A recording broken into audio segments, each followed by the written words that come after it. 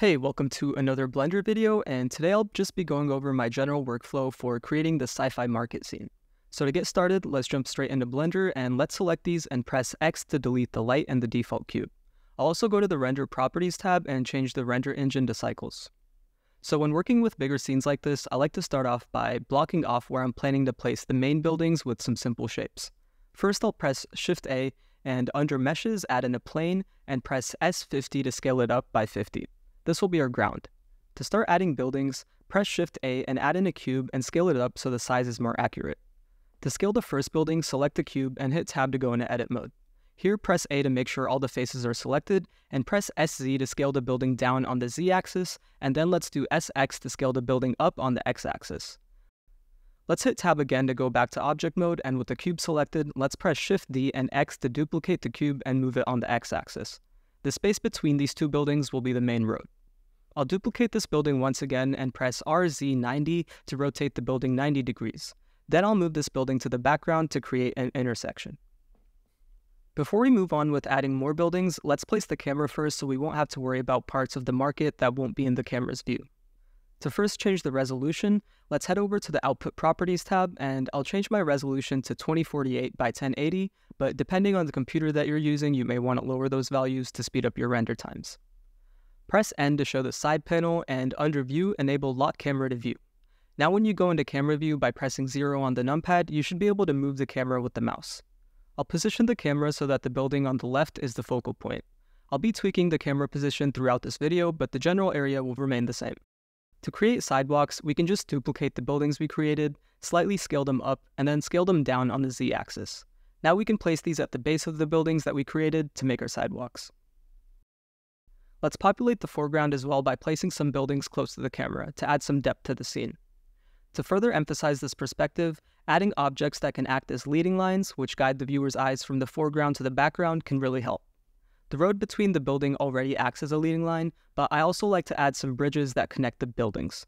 I'll add a couple bridges that connect the foreground to the midground, but also some horizontal bridges to add more foreground detail and guide the viewer's eyes. We'll populate the scene with smaller details such as cars and street signs later on, so once you have the base objects for you to build the scene upon, you can move on to the next step. We can start making these cubes look more like buildings by beveling some of the shapes. Let's select the first building, go into edit mode, and on the top left, change over from face select to edge select mode. Select the edge that's facing the camera and press Ctrl B to bevel this edge. Now in the bottom left menu, let's increase the number of segments so the building is rounded. For adding more details, we'll be using Loop Tools, which is a built-in add-on. So to activate this add-on, let's go to Edit, Preferences, and under the add-on section, search for Loop Tools and click the checkbox. I want to add an entrance at this corner of the building, so to do so, I'll start by adding cuts where I want this entrance to be. Let's select the Loop Cut tool on the left menu and add a horizontal cut to the building. Then let's add two vertical cuts on either side of the corner. You can make sure that these are evenly spaced by having the same factor offset for both cuts. With the middle faces selected, right-click and extrude the faces along normals into the building. We can use loop tools to flatten these faces by right-clicking and under loop tools, select flatten. Then we can add a loop cut close to the entrance of the building to set the wall thickness, and start moving and extruding the faces inside. Before adding more interior details, let's work on the exterior. Let's inset the top face and extrude it up. I want to add a second floor, so I'll add some space for a walkway and continue to inset, scale, and extrude these top faces to create some quick variety. I also want to make the building longer, so I'll go into edit mode, enable transparency, and from the top view, select these faces and move them along the x-axis. We can continue to add details by insetting and extruding faces.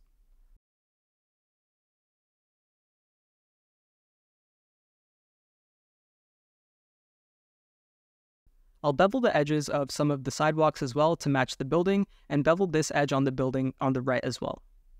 I'll continue to slightly change the camera position and the building locations as I go forward. I want to keep the entrance of the left building as the focal point, so I'll position the roads, bridges, and buildings to lead the viewer's attention to the focal point as well as create some depth. For the lighting in the scene, I want to be a little more selective of where the light is shining, so instead of an HDRI, I'll place a plane behind the scene and give it a blue tint to act as the sky. If you're looking to create something that looks less stylized and more realistic, an HDRI environment texture would probably be the way to go.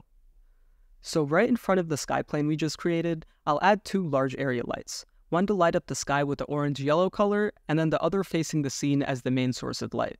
Then we can place more smaller area lights around the scene to emphasize the focal point. For the materials for the building, I'll go into the shading tab and connect the color ramp to the base color and add a Musgrave texture to the factor of the color ramp. From here, we can change the values of the color ramp and the Musgrave texture to add some light detail. If you're looking for a more realistic look, you could also consider using an image texture or something more complex. I'll duplicate this material and slightly change it up so I can apply this to the sidewalks and roads as well. For the roads, you can plug the Musgrave texture into the roughness of the principled BSDF to create some puddles on the road. You could also do this with image textures, which is what I'll replace the Musgrave texture with later on for the roads. Now that we have the base for our market, we can start adding details and props. I'll open up a new project and we can start by making some props to place around the scene. Starting with crates and boxes, we can just scale a cube in edit mode, add a bevel and some loop cuts, and start extruding faces to add some detail. We could also select the top faces in transparent mode and separate them to create a lid for these containers. I'll temporarily set the base color to a texture I got from textures.com, and I'll apply this texture to other props, but we can change this later on to better match the scene. Next, I'll create a shape that could be used for scaffolding or railings.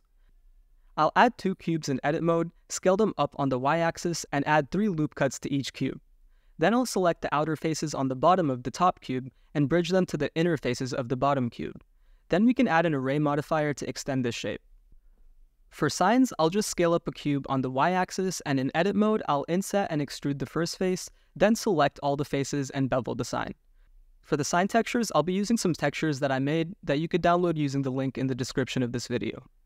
So I'll give this mesh the same texture as the boxes, add a new material using the sign texture, and assign it to the front face. To create more signs, we can just duplicate this one and change it using a sign texture. For more props, like pipes, air conditioners, and vehicles, we could just download a couple textures from textures.com, import the images as planes, and start modeling the prop using the images as reference. Then we can apply the same material to the mesh and line up the edges in the UV editor. Since this is a bigger scene, I won't be adding too much detail, but spending more time with these props, using more high quality image textures, and using projection mapping techniques can make a huge difference if you're going for realism. Anyways, once you've created all your props to fill the scene, we can go back to the main scene and append all the props. From here, I'll start placing the props all around the scene, starting with the signs and railings. Once again, I'm only concerned about what's in the final render, so I won't be placing any props outside of the camera's view. As I go through the scene and add more props, I'll start adding details and lighting to the interiors of these buildings as well. To keep the focus on the main entrance of the market, I'll go to the camera settings and add some depth of field. If you feel like a certain part of the scene is empty despite the props, we can also change the building to add more windows and entrances.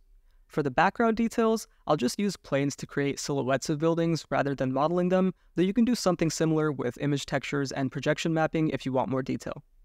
You can grab some FBX animations for people in the market from Mixamo.com, then import and place them around the scene.